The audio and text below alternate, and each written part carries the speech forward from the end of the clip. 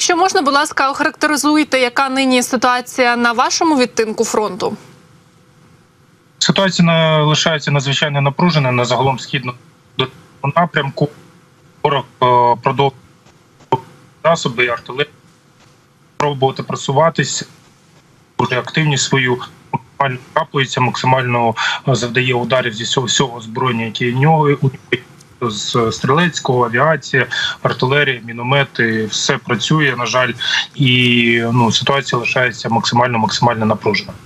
Командувач повітряних сил збройних сил України Микола Олещук сьогодні повідомив, що оборонці України знищили ворожий ударний гелікоптер К-52 саме на Бахмутському напрямку. Ну і крім того, ще вранці було знищено ще один такий К-52, але вже у Запорізькій області воїнами 47-ї окремої механізованої бригади. Навіть ось з'явилося фото та відео. Ну мінус два російські алігатори за один ранок. Здається, що дуже приємні результати. А загалом від тижня вже чотири таких гелікоптери е, знищені. Якщо загалом аналізувати цю тенденцію, це що росіяни чому вони почали ними так часто користуватися і так підлітати, що ми маємо змогу їх е, е, збивати? Вони намагаються компенсувати втрати у своїй артилерії. Ми маємо чітко розуміти, що запасів у ворога е, цього всього ж заліза, яке літає, яке стріляє, яке їздить, яке е, стріляє, но не їздить, або навпаки їздить, но не стріляє. Е, ну дуже багато. Весь радянський союз, вся радянська імперія. Більше того, навіть хотів би сказати, що використовуються в тому числі снаряди, міномети, що українською армією, що силами оборони, що окупантами, ще ті, які існували, ну, були створені ще до початку навіть другої світової війни, і все це використовується в величезній величезній кількості на схід, ну, на всьому на всій лінії фронту. Тому ворог так чи інакше буде застосовувати, намагаючись продовжувати е, ту тактику, яку він обрав там е, десь з травня, там з квітня 2022 року, коли просто е, створювати максимально вогневий тиск, піхотний тиск, штурмовий тиск, е, і думаючи, що там чим більше він тисне, тим більше досягає успіху. Насправді у нього вже не ті не ті засоби, не ті ресурси, не ті можливості створювати тиск, але е, іншого виходу немає. Вони змушені в цю топку війни е, кидати все більше і більше своїх ресурсів, думати про там про нову мобілізацію, залучати нових ваняк. Причому я більше ніж впевнений, що ця прихована мобілізація у них ніколи і не закінчувалася.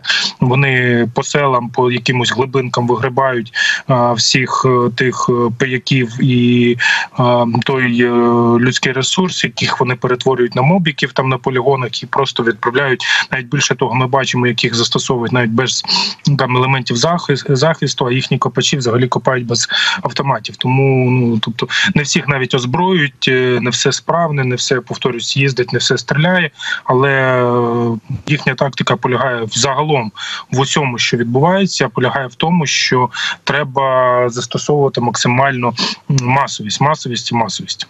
Окупанти ж бачать наш успіх на фронті, не просто бачать, а вони відчувають його, тому що дійсно багато у них втрат е, за останні декілька днів. І е, чи можна охарактеризувати, чи вони змінюють якось свою поведінку? Я маю на увазі, чи вони більше зараз витягують важкої техніки, чи все таки йде контрбатарейна боротьба?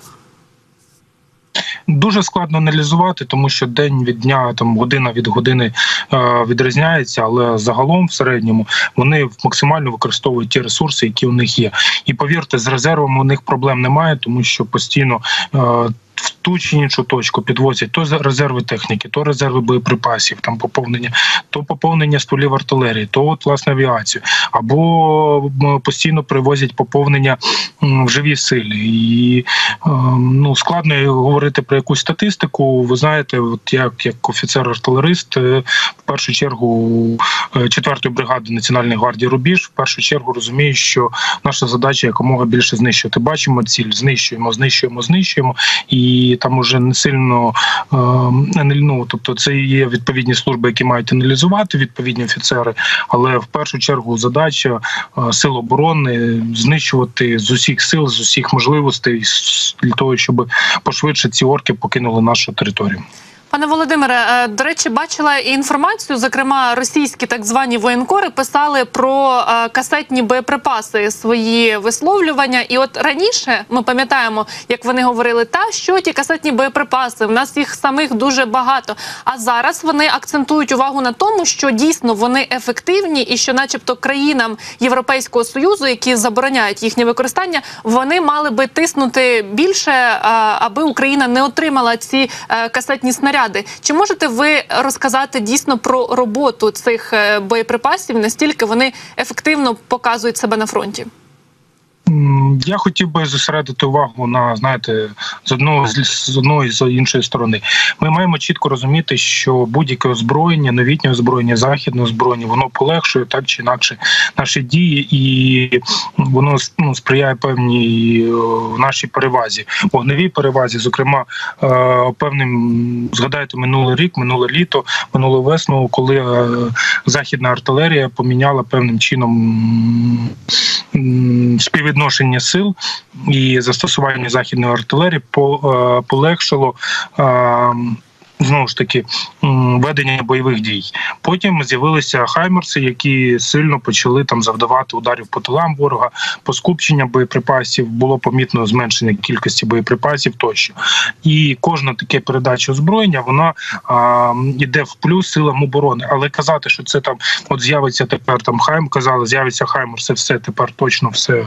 От немає ніяких шансів. Потім іще щось, потім іще щось. Теж я не хотів би, щоб хтось е, створював собі ілюзію, що там те чи інше не номенклатура тої чи іншої озброєння, боєприпасів. От це є просто там чарівна паличка, як то кажуть, там може хтось уявляє, не дай Бог, війну як якусь комп'ютерну гру, що це там якийсь чіт-код. Ні, такого немає, тому що да е, немає в сучасній війні, в тій війні, яку веде проти нас окупант, жахливій трагічній жахливій війні, агресивній, немає ніякого там. От універсального озброєння, яке просто є там, е, от одноосібно може вирішити от просто всю війну. І навіть е, те, що кажуть там про е, літаки F-16, так вони теж будуть працювати, вони теж будуть завдавати ударів по ворогу і будуть використовуватися ефективно. Але сказати, що вони там тільки F-16 з- отримують запоруку війні, перемогу війні, там одну просто тільки от F-16 теж не можна такого казати, і тому звертаю вашу увагу про ці касетні боєприпаси. Так, вони ефективні, так вони.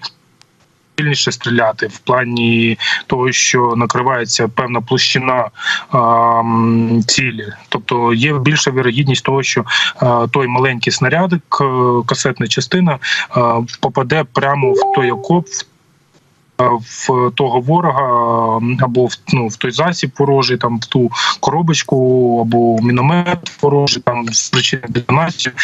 Знищення, ушкодження, ніж там е, 10-20 інших снарядів. Да, воно йде в плюс, але сказати, що воно просто там е, тільки касетні боєприпаси зараз всіх всіх пере, ну, перестріляють, перезнищать, не доводиться, тому що це просто один з видів озброєння, який е, йде, скажімо так, е, показує свою ефективність виключно в цьому. Тому казати, е, Ну, да, що що- там. Ну, ворог має боятися дійсно. Ворог ми маємо говорити про те, що і ворог уже боїться, боїться багатьох, боїться хаймерсів, боїться е, наших безпілотників певним чином, боїться нашої артилерії, ховається, але він це намагається компенсувати тим, що у нього необмежений ресурс по е, втратам, тобто вони можуть дозволяти собі нести величезні втрати, необмежені ресурси, на мій погляд, необмежені ресурси е, в резерви в.